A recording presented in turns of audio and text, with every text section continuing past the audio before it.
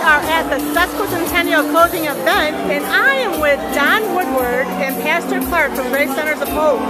Thanks for being here, and you both have been such an integral part of all the planning that has taken place for the 150th celebrations. I thank you for that, and thanks for coming to the closing. Well, thank you, Donna Marie. It was a real pleasure to be part of this sesquicentennial to honor Pontiac's 150th anniversary, and we look forward not to just this celebration, but an ongoing helping rebuild our community. Excellent. And Pastor Clark. Well, I'm so excited uh, for Pontiac. Wish them a happy birthday. I believe this city's uh, coming back, and I'm excited what I'm seeing downtown here.